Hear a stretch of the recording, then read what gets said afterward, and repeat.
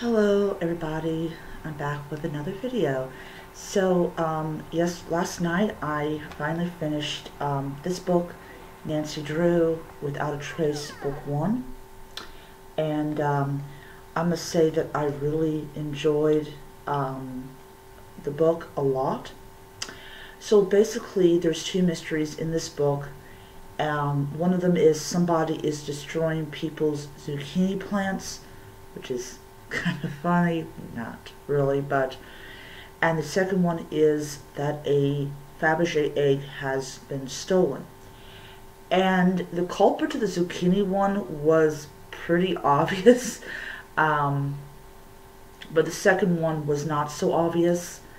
Um, but yeah, it, it, was it was a really great um, book. I enjoyed the pace of the book, and you, you, you kind of guessed that the Zucchini Destroyer was kind of a child instead of it being an adult.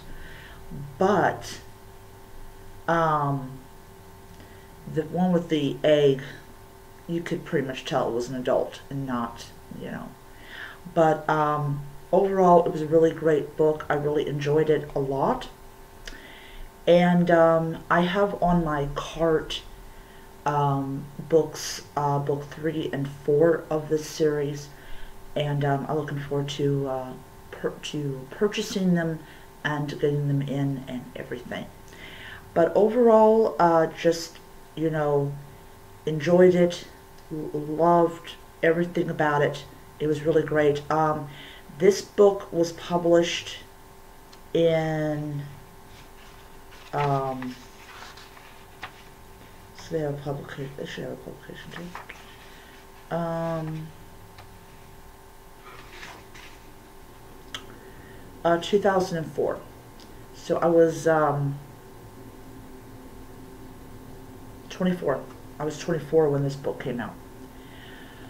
Man, that seems so long ago, doesn't it? All right. So um, I will see you guys around until next time. Be happy, healthy, and most importantly, be safe and read on. Bye.